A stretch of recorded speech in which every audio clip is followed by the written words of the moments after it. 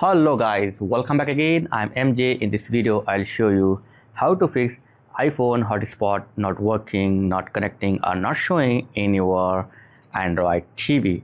So before I start my video, I have only one request. 99% of you are not subscribing to my channel. If you got any help from my video, then please subscribe it. Now come to the topic, how to fix iPhone hotspot not working or not showing in your Android TV.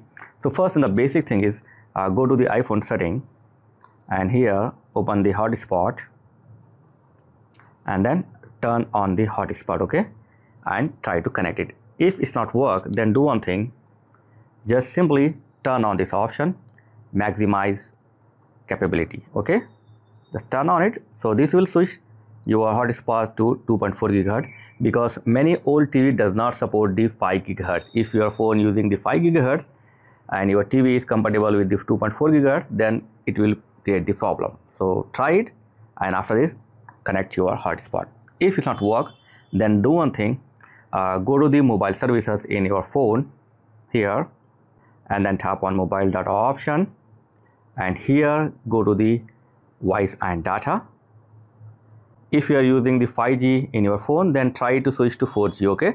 Try to switch the 4G and then connect to your TV if it's not work then do one thing. Go to your TV setting here and then go to device preferences open the date and time.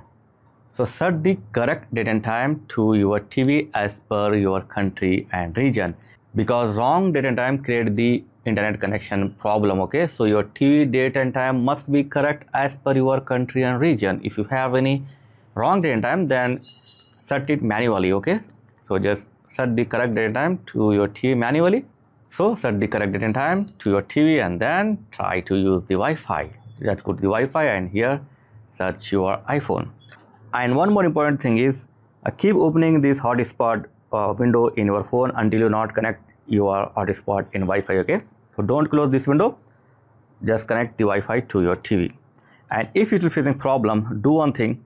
Totally forget the your previous networks. For example, I have connected the Wi-Fi to my office network so just open the office network and here forget the network okay? After forget come back and search for see all network like this. And from here select your hotspot type your password and connect it. If it's not work then do one thing directly unplug the tv directly unplug the tv and wait for at least 30 seconds okay?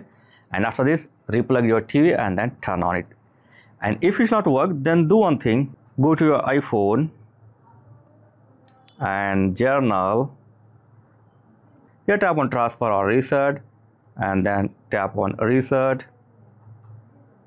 So here reset the network. Okay remember it. Only reset the network. Don't press any other option. Just tap on reset network setting. So this will only reset your internet setting. And after reset configure once again and try to use the hotspot in your smart TV. So these are the five or six methods I have showed. So let me know in comment which option or which method fix your issue. So thank for watching guys. Catch you next time. Please like, share and subscribe. Thank you very much guys.